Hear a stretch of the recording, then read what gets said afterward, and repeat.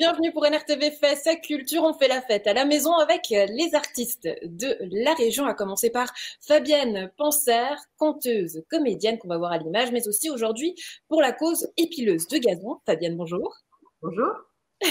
Avec nous également Jean-Luc Fornelli, écrivain, humoriste, mais aussi aujourd'hui pour le coup dresseur d'ours. Comment il fait un dresseur d'ours, Jean-Luc? Je sais pas pourquoi il a écrit ça. je, suis dresseur de panda, en fait, ça n'a rien à voir. C'est une autre race. Fornelli, écrivain et dresseur d'ours. Bonjour, merci d'être avec nous. Et on l'a entendu euh, rire, Edem, humoriste avec nous aussi aujourd'hui, qui pour le coup aujourd'hui est dentiste. Euh, dentiste et écrivain, euh, comme je me trouve euh, devant ma bibliothèque, dont la plupart des livres dont j'ai fait la préface. Je vous salue, Andrea. Je vous salue donc. Merci d'être avec nous aujourd'hui. On joue avec les mots, on s'amuse avec les expressions. Eh bien, sans plus attendre, je vous propose de commencer avec le premier jeu, Motus et bouche cousue. Il faudra lire sur les lèvres de chacun de nous. Donc, Greg, je te propose. Qui veut commencer? Qui lève la main en premier? Ah, parce qu'on peut tous vous voir? Qui lève la main? Ah bah, Honneur aux femmes. Merci, Fabienne. Merci. Vous allez donc lire sur les lèvres de Fabienne euh, Greg, notre homme invisible qui réalise l'émission en invisible, je te propose de couper le micro à Fabienne, de la mettre en mute, ou sinon tu devras murmurer Fabienne pour ne pas tricher. Quant à vous, Edem et Jean-Luc, vous fermez les yeux puisque je vais montrer un mot à Fabienne. Donc vous fermez les yeux, pas de triche. Edem, non, je vais voir tes yeux fermés. J'enlève mes lunettes. Voilà. Fabienne, tu vas devoir faire deviner ce mot-ci. Ok. Vous pouvez ouvrir les yeux, Fabienne. Contraception. ah bah mince. C'était pas ça. Ouais. Est-ce que tu as le micro Voilà. Parle un petit peu, juste que je, vérifie que tu as le micro coupé. Alors, je parle un petit peu. Uh Ça veut dire qu'on ne peut pas couper le micro. Donc, il va falloir que tu, que tu le susurres.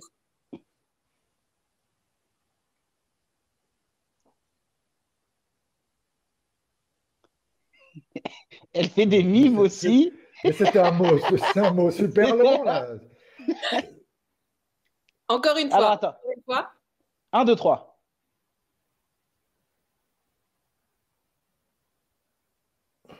Oh là là. Rapproche-toi, Fabienne. Mets tes lèvres plus en avant.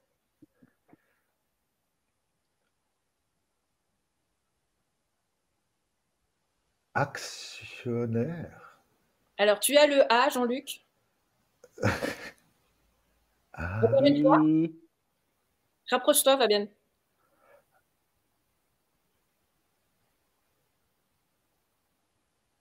Oh là là là là là. Avion. Ayo. Déjà, on peut avoir un indice? C'est. Euh, Alors, tu as le A. Un verbe. C'est un mot. C'est un mot. Ah. Hmm. je crois qu'il faut qu'elle refasse. Art visuel.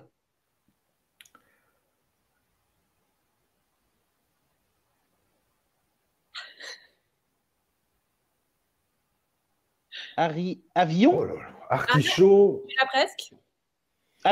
Avionneur. Aviateur. Charles-Édouard, enfin un petit peu de, un petit peu plus de, de ton, euh, Charles-Édouard. Je vous propose de changer. On va prendre un mot qui est en lien avec euh, ton métier du jour, Fabienne. Donc les deux autres ferment les yeux. Jean-Luc et Dame, vous fermez les yeux. Ok. Fabienne. D'accord. Vous pouvez ouvrir. On coupe le micro à Fabienne. On lit sur ses belles lèvres. Épilation. Oh, il l'a eu Edem, tu l'as eu, ça c'est pas mal. Donc un point pour Edem sur ce jeu. Il faut que je le fasse pour mes cheveux d'ailleurs. Je pourrais passer, ça me fera plaisir. On peut prendre rendez-vous, il hein, n'y a pas de problème. Ah, avec euh, gazon naturel. je, je demande à Greg qui prépare les images en régie pour qu'on puisse passer au jeu suivant. On va voir, chers invités, si vous avez l'esprit de contradiction. Eh bien, je suis sûre que vous l'avez pour certains. Donc, vous allez voir apparaître une expression à l'écran. Il faudra trouver l'expression contraire. Donc, les mots contraires des mots qui s'affichent à l'écran euh, donnent une expression. Éteindre le feu, éteindre l'eau. Merde, j'ai dit la réponse. Allumez le feu Bravo Allumez le feu. On passe au suivant. Vous avez compris le concept. Et ça fait un point pour vous, Andrea. C'est gentil, Eden. Bien joué. C'est facile. hein. Bon, donc voilà, vous aurez compris le principe. On arrive au suivant. Hein. Ouh là là. Un chapeau melon. Pas mal, pas mal. Jean-Luc a le point. On passe au suivant. Un point pour Jean-Luc, un point pour moi, hein, même si euh, j'étais pas censée participer.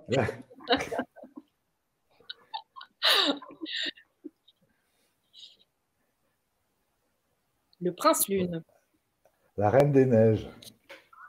Non, mais Le roi soleil. Ah, le roi soleil. Qui a- T'as dit quoi, Edem? Le roi soleil. Le roi soleil, c'est bien vu. Un point pour Net- Bah, bah, je l'ai dit avant. nettement avant toi, Jean-Luc. T'as dit la Alors reine là, des neiges. je m'inscris en faux. Un point chaque. Et On peut- même, j'avais l'impression que c'était mon écho. C'était- Non, non. C'est la tricherie, là. vous vous connaissez ou quoi, les deux là? On se connaît tous. Donc, Vous vous euh, voyez en dehors ou... Moi aussi, j'ai les réponses. C'est quoi ce truc-là? Il y a Edem qui rougit, mais j'aimerais bien qu'on prépare le mot suivant. Allez, je suis prêt à en découdre, les amis. Oh, t'écoutes. Ton beau sapin, mon beau sapin. Il l'a eu. Ah, Bravo. Fabienne, bravo, bravo. la compétition. hein. Parce que Mhm. en, en compétition, non. Je laisse, les, je laisse les messieurs jouer. euh, Edem, on casse sa tête, il en vient à avoir la tête à l'envers. Un petit souci technique, je pense, il va la récupérer. Est-ce qu'on a encore un mot? C'est pour nous, c'est pour nous déstabiliser. Ça, Tous les moyens sont bons. ils nous regardent de haut, c'est insupportable. Des souliers légers. Des palourdes. Non. Oh, des. Un synonyme de soulier. Edem qui est revenu dans la compétition après un petit souci technique. Des, godasses lourdes, des chaussures lourdes. Alors, qui est presque, Jean-Luc? Je joue avec les mots. On a perdu Edem entre temps. Des. Des. C'est un peu morbide. Des pompes funèbres.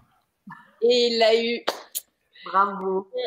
Jean-Luc aura gagné sans appel ce morceau. Edem, est-ce qu'on a pu te récupérer? Oui, oui, c'est tout bon. Euh, je, voulais laisser les... je voulais laisser une chance à Jean-Luc Oui, je me De- suis dit, de gagner, donc je me suis auto-censuré. je me suis dit, c'était plus facile quand il manque tous les candidats. Mais j'attendais juste la fin du jeu pour revenir, au moins comme ça. euh, passe quoi. Edem est mauvais perdant, mais il n'a pas voulu le dire. Mais autrement dit, c'est ce qu'il voulait nous dire. Bon, Edem, je vais te mettre à contribution du coup. Il va falloir que tu mimes des expressions. D'accord. Voilà, donc tu vas te mettre en action. Fabienne, Jean-Luc, vous allez fermer les yeux. Et tu as le droit, Edem, de choisir ou de prendre des objets qui sont autour de toi si ça peut t'aider. OK? D'accord. Une expression. Ok. C'est parti. Les autres peuvent ouvrir les yeux. Euh, Une expression. Hein. Tu n'as pas le droit de parler. D'accord, j'ai le droit. de- Ah, ça va être compliqué. Alors, euh, euh, non, c'est hyper compliqué. Je peux mimer ce que je veux. Ok. Tu peux mimer, tu peux prendre un objet qui est autour de toi, tu peux faire tout ce que tu veux. Euh, Alors, on va essayer.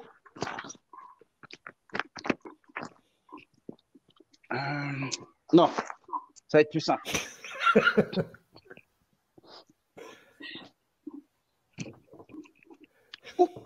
La ceinture. Ouais. Ce serait la ceinture. Allez, je donne le demi-point à Fabienne pour qu'elle revienne dans la compétition. Fabienne, Jean-Luc, vous fermez les yeux. Pourquoi demi-point Ah, C'était pas ce que j'avais C'était c'était autre chose, c'était euh, Pierre qui roule Spamos. Edem, tu l'as C'est pour ça qu'il y a Ouais, l'ai. demi-point. Alors, c'est parti pour une autre expression. ok, vous revivez. Alors, euh, Par l'amont, Clémenté, euh, non, Qu'est-ce qui vous par, montre? Par l'amont, ma gorge est malade. Non, mais le QI, le QI. On peut dire Ah. que le QI. Un balai dans le cul. Il vous montre une autre partie d'un vêtement qu'il porte sur lui. Oh là là là là. là, je suis en train de faire quoi là? Boutonner Qu'est-ce qui boutonne? Le cul. Qu'est-ce qui boutonne? Cul, Cul. Fabienne l'a eu Fabienne l'a eu. Deux points pour Fabienne. Vous fermez les yeux. Edem, tu es prêt? Ouais. On va te trouver un bien. Tu peux toujours aller chercher un objet si tu le souhaites. Hein. C'est parti Euh, Plateau, cadre, bois.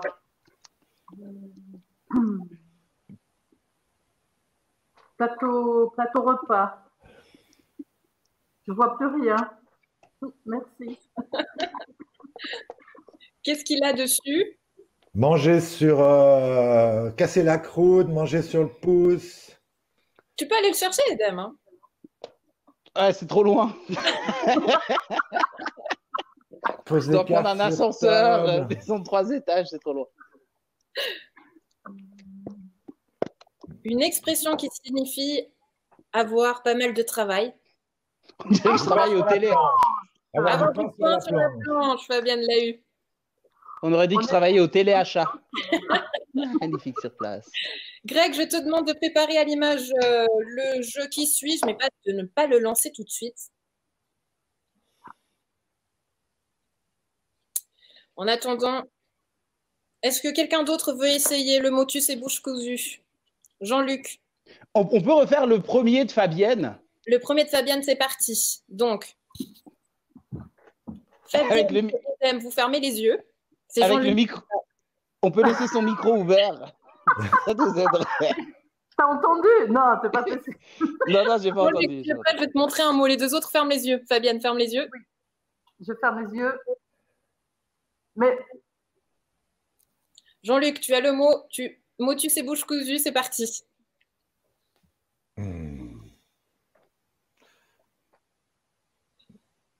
Dresseur d'ours.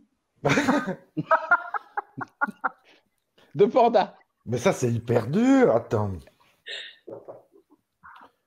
Mais tu, tu dois le dire, hein, Jean-Luc, à part ça. Pas le Ah, mimer. hein. comme- ah, pardon J'ai cru qu'il fallait le mimer. Est-ce qu'on peut avoir des vrais concurrents, s'il vous plaît? Maudit, je me suis trompé de jeu. Ah. Alors,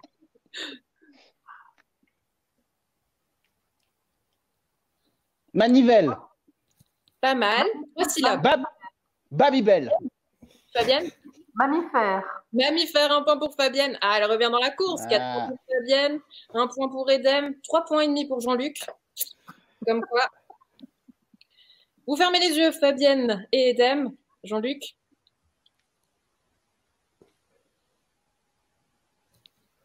C'est parti. Jean-Luc, c'est à toi.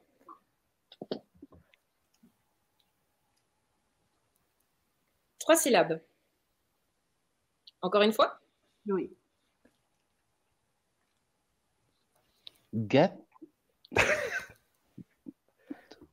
Bateau mouche.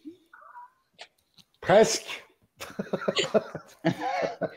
Carnaval Non. Encore une fois, Jean-Luc.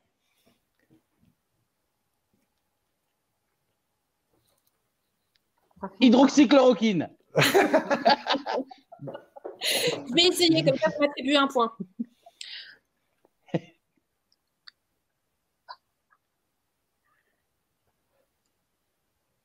Moi, j'ai trouvé. Allez, tu peux le dire, Jean-Luc. Nénuphar. Nénuphar. Voilà, exactement. Oh, bien point. sûr. Donc j'ai le droit de m'attribuer un point. C'est parti. Dernier jeu. Il va vous falloir trouver un mot que Greg va nous préparer euh, en régie quelques images. Une fois que vous avez trouvé ce mot, il faudra aller chercher cet objet chez vous. Le premier qui a ramené l'objet a gagné. OK? Donc, c'est parti. Vous allez avoir des expressions et ce mot se retrouve dans toutes ces expressions.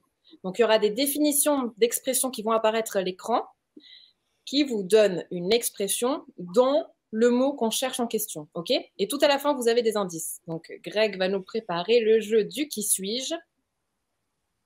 Si vous trouvez le mot, évidemment, le but, c'est de ne pas le dire et d'aller chercher ce fameux objet. Mais le mot n'apparaît pas dans l'énoncé. Le mot n'apparaît n'apparaît pas dans l'énoncé. Se comporter prudemment dans une affaire délicate. Quelle est cette expression?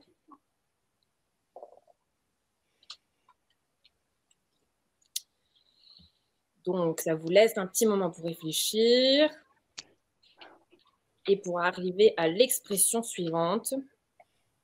Ah, On va- terrain. Il faut, il- il- il faut chercher tout de suite Non? Alors, tu as le droit, tu as le droit. Si tu l'as déjà trouvé, on Il y, a devrait combien de, il y a combien de questions en tout? Euh, quatre, il me semble. D'accord. L'expression suivante. L'expression suivante devrait s'afficher à l'écran. Mhm. Il n'y a pas de souci technique. Voilà. Avoir trop mangé et trop bu. Pour l'instant, Jean-Luc est silencieux. Il me semble que peut-être il a une petite idée. Fabienne qui. Edem qui a avancé mais qui est revenu sur place. Donc on change de stratégie. Avoir trop mangé et trop bu, c'est une expression. La troisième qui va arriver. Pour que certaines actions soient menées à bien, il faut accepter certains sacrifices. La première, se comporter prudemment dans une affaire délicate. La deuxième, avoir trop mangé et trop bu. Pour que certaines actions soient menées à bien, il faut accepter certains sacrifices. Les indices, c'est là que ça va jouer. Je suis comestible. Oui, mais alors, moi, je crois que j'ai trouvé, mais j'ai pas l'objet. Ah bah tu te débrouilles. Va chercher quelque chose qui ressemble. C'est- quelque chose qui ressemble. Mhm. Il y aura un troisième indice et là, tout va s'éclairer. Oh là là. Moi, j'ai pas de jardin. Part à la recherche. Hmm. Alors, c'est Moi, j'ai. On va voir apparaître le. Putain. Je suis comestible. Qu'est-ce que vous voyez à l'écran Jean-Luc est parti. Fabienne n'a l'air d'avoir aucune idée. Et Il y a, il y a d'autres indices encore? Ah oui, ben c'est, c'est ce que je pensais. Alors, Edem est parti en course. Euh, Il part à la recherche. mais il faut force. Ah, moi aussi, je crois pas que j'ai l'objet, mais si je dis, si on dit la réponse. Il faut que tu ailles chercher quelque chose qui ressemble. On fait la conversation en attendant comme ça. En attendant, Fabienne, j'aimerais savoir comment ça s'est passé ce confinement pour toi et pour tes activités en tant que conteuse. On a vu tes comptes sur NRTV, mais Voilà, c'était à, à l'arrêt, j'imagine. j'ai un objet, mais je sais pas si.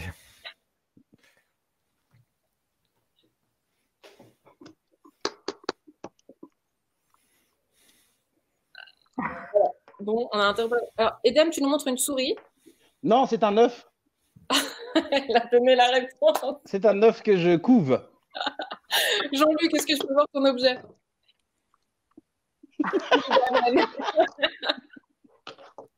Bon, il était jaune et blanc, mais c'était pas du tout ça, c'était un œuf. Edem a donné la réponse. Donc, se comporter prudemment dans une affaire délicate, marcher sur des œufs, avoir trop mangé et trop bu, être plein comme un œuf. Et finalement, pour que certaines actions soient menées à bien, il faut accepter certains défis. On ne fait pas d'omelette sans casser d'œufs. C'est deux. Bah oui. Ah ouais. Ah ben moi je pensais, mais moi je pensais à un chou, Comme quoi, un chou. Mélanger la chèvre et le chou, en avoir plein de choux, et puis euh, on ne fait pas d'omelette sans casser des choux. Voilà, j'aurais pu, mais non. C'était dans un autre cours de cuisine. bon, j'aimerais parler de ton activité à présent, Jean-Luc. On a ton livre, ton nouveau livre, Les aigrettes. Excellent, excellent choix. Excellent. Ce n'est pas à vous de nous le dire. Est-ce que tu peux nous lire un petit extrait? Oui. Bah, allez, je vous, je vous lis le premier comme ça. Non, allez. Ma belle œnologue. Ça va? C'est parti. Ma belle, œnologue. Ma belle œnologue. Après lui avoir servi mon plus charmant baratin, lui avoir offert les nectars les plus divins de colonies de fuis de Saint-Saphorin, j'ai pris mon courage à deux mains et lui ai demandé à ma belle œnologue si faire l'amour avec moi elle voulait. Elle m'a répondu jamais. Voilà qui est joliment. Où est-ce qu'on peut trouver ton livre, Jean-Luc? Euh, Alors, dans toutes les excellentes librairies. toutes celles qui ne l'ont pas sont de, très mauvaises librairies. Mais les, excellentes librairies l'ont. Donc voilà. Moi, je dois, je dois avoir avoué que je l'ai trouvé dans la boîte à lait de Jean-Luc, mais ça, c'est une autre histoire. On vous la racontera une, un autre jour. Euh, je crois qu'il y a d'ailleurs une lecture à laquelle on est invité demain jeudi. Bah, c'est le vernissage. En fait, on fait le vernissage du livre au Rameau d'Or à Genève de 18h à 20h. C'est une verrée en, hommage à ce livre de, poésie humoristique qui s'appelle donc Journal, qui a un sous-titre Journal d'un poète givré même l'été. Voilà. Qui correspond bien à votre personnage, on l'a raconté. Fabienne, retour des activités euh. à l'atelier de Mademoiselle F. Pour quand est-ce que c'est prévu? Eh bien, on va j'ai des stages euh, pendant l'été comme, euh, comme chaque année. Heureusement, je vais pouvoir recevoir de nouveau des, jeunes, des jeunes euh, qui sont foot, théâtre et de chant en juillet et en août. Et puis après, bon, on attend la saison Mademoiselle F le 12 septembre où on va dévoiler la nouvelle saison 2020-2021. Edem, retour sur les planches pour toi en tant qu'humoriste, pas en tant que dentiste, en tout cas, je l'espère, ça nous fera de mal. C'est prévu pour quand? Non, je viens d'être rayé de l'ordre des dentistes, je pense, avec cette prestation. Et qui a gagné au final? Qui a gagné ce. Je garde le suspense jusqu'au bout. Je te laisse nous, nous, dire quand est-ce qu'on te retrouve sur scène.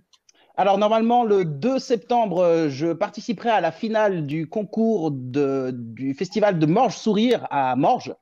Et sinon, je serai le 19 septembre au Théâtre des Remparts à la Tour de Paix pour un, spectacle avec d'autres artistes euh, euh, beaucoup moins drôles que moi. J'espère qu'ils se reconnaîtront. Bravo J'espère qu'ils se reconnaîtrent. du coup, je ne sais pas si j'ai dit que c'était au Rameau d'Or, moi, demain, le vernissage. J'ai dit? Oui, 18h, 20h. Ah voilà, ben, bravo. Mais on peut le redire. que l'heure. Jean-Luc sera demain, jeudi, de 18h à 20h au Rameau d'Or pour le vernissage de son livre et il pourra vous lire la préface euh, que je lui ai écrite avec mes lunettes euh, d'écrivain. Merci Jean-Luc. Bravo, merci pour cette préface, Edem, encore. Ah, pas de quoi, j'adore, j'adore. Ah, elle Donc voilà, tout est dit. Vous voulez savoir le résultat, je crois. Alors Jean-Luc, 3 points et demi. Edem, on va dire 2 points et demi parce que pour l'œuf, je l'accorde. Et la grande gagnante, eh bien, on l'a compris, c'est Fabienne avec 4 points. Ah, bravo. Je voulais pas que Jean-Luc gagne, en tout cas. bravo, moi, moi, je ne dis rien. Je ne dis rien parce que j'avais plus que 3 points et demi. Bien joué, Fabienne. Donc, euh, notre stratégie a marché. Mais je dis rien.